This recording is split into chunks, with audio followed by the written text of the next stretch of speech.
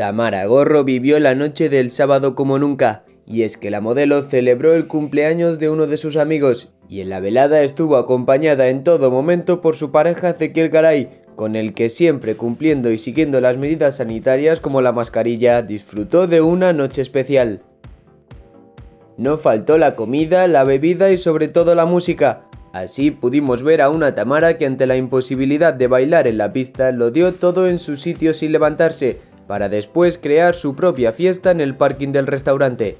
Primero un baile en grupo, demostrando su coordinación y habilidad con esta coreografía, para después volver a disfrutar de la música con una de sus amigas en un baile muy original. Así fue el sábado noche para Tamara Gorro, cena, baile, música y momentos especiales con sus seres queridos.